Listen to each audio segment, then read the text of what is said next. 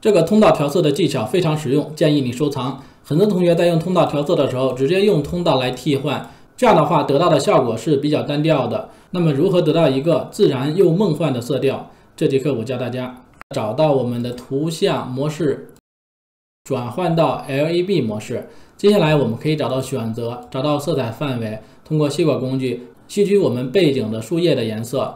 哎，我们把容差值稍微拖大一点。接下来点击确定，这时候呢，我们可以直接点击通道，我们选择 A 通道。Ctrl 加 C 复制，点击 B 通道，Ctrl 加 V 粘贴。这样的话，我们相当于只对背景进行通道替换。那么我们人颜色啊，人的肤色是不受影响的。这样的话就会得到一个比较梦幻，而且呢不会影响整个人的肤色的这么一个色调。这样最终效果它是比较自然的，而且带着梦幻的色彩。如果喜欢我的课程，一定要记得点赞关注，私信我领取这张练习素材。